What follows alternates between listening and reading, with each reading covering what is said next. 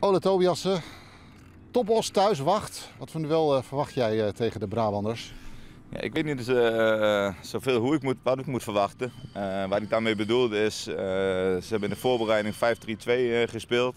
Ze hebben de eerste twee wedstrijden twee andere verschillende formaties gespeeld. Dus ik ben, nu, ben benieuwd hoe ze mogen hier komen. Maar daar zijn we uiteraard wel op voorbereid. Ja, het is een ongelooflijk belangrijke wedstrijd voor jullie om aan te haken bij de absolute top van de keukenkampioen-divisie. Dat zou mooi zijn en dat is ook wat we heel graag willen. Uh, goed resultaat zo thuis boeken. En uh, dat moet natuurlijk wel gebeuren met hard werken, maar hopelijk ook met mooi voetbal. Nou, twee wedstrijden gespeeld, één keer gelijk, één keer gewonnen. Ja. ja. tegen MVV werd ook verwacht van, nou, dat gaan jullie wel winnen. Dat was de algehele verwachting. Nu is dat eigenlijk ook weer een beetje zo tegen top. Maar ja, wat moet er gebeuren om een herhaling van MVV te voorkomen? Ja, ons, ons positiespel moet, uh, moet veel sneller gaan. Uh, we moeten veel, uh, veel sneller aan toegericht naar de goal gaan. En, en, dan onze kansen afmaken die we dan ook krijgen. Ja. Tegen Excelsior was een, een krankzinnige wedstrijd. Hè? met heel veel doelpunten. nou, de euforie was best groot na afloop. Ja. Omdat je won. Maar ik neem aan dat jij ook die wedstrijd even nuchter geanalyseerd hebt. En ook misschien wel geschrokken bent van hoe de doelpunten werden weggegeven. Nee, zeker. Maar dat, heeft iedereen gezien, denk ik. En uh, dat bespreken, inderdaad. Maar ook uh, heel veel goede dingen. Uh, vergeet niet dat het gewoon een hele knappe prestatie was om daar uit te winnen van een van onze concurrenten. En dat is de laatste jaren bijna niet voorgekomen. Dus wel drie hele belangrijke punten en een uitzegen. Je speelt nog uh, met uh, Ernest Ahanag op, op, op nummer 10. Wat voor indruk maakt hij uh, tot dusver op jou dit seizoen? Ja, Anas is een, is een lopende nummer 10.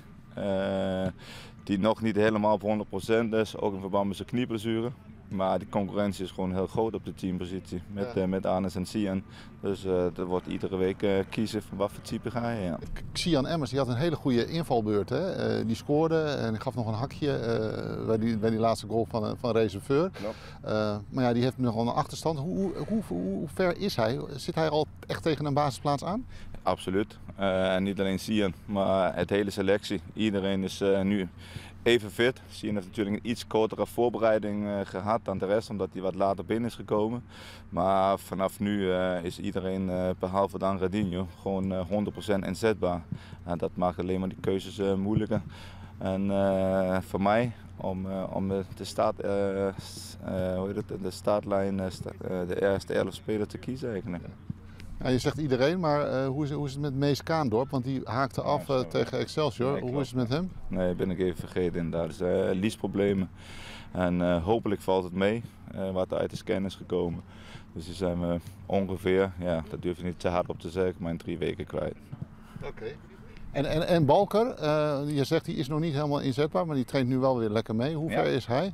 Ja, ver van, ver van van de startopstelling. Uh, ik ben blij, super blij dat hij nu alles uh, mag meetrainen. En nu gaan we hem ook nog verder opbouwen. En de volgende stap is de hele week volledig meetrainen en dan weer speelminuten. En dan, dan zien we wel hoe ver of hoe lang we het nodig hebben om hem 100% inzetbaar te krijgen.